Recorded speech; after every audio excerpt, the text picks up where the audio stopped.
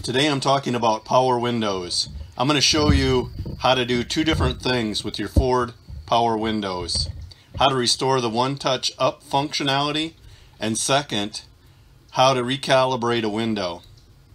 This is an important thing to do if your one-touch button stops working and in the second case of recalibrating a window, if you replace a window, a window regulator, or a window control button panel, you may have to recalibrate the window.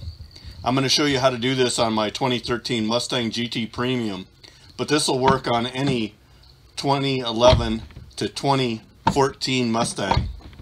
Before I get started, I want to say I have many other videos you may be interested in showing general automotive work, modifications, and tips.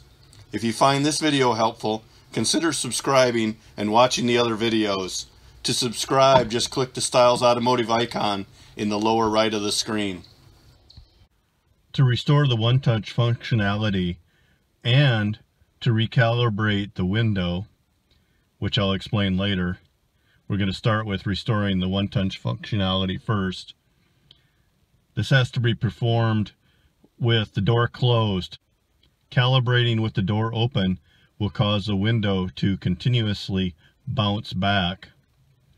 Functionality may be lost under low battery conditions. So if your battery is extremely low in your car, that can cause a glitch in the system and cause this one-touch feature to, to go away. To restore it or reset it,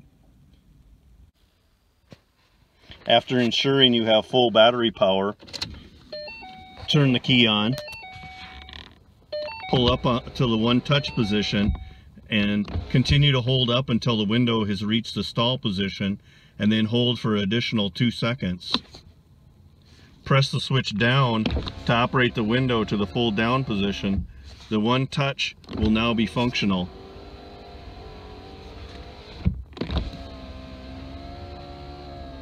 You should be able to hear my window operating in the background.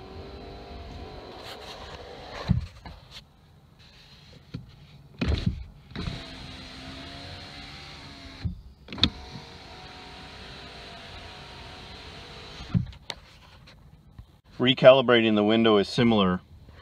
The door must be closed, the power on. If the window will not raise after the door is closed, use the switch to fully raise the window, then hold the switch for two seconds.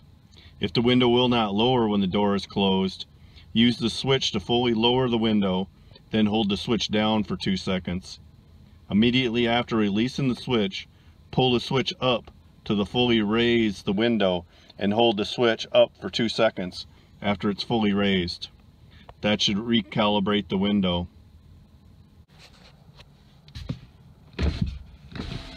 That concludes the video. Let me know if you found it helpful in the comments, and if you did, please subscribe.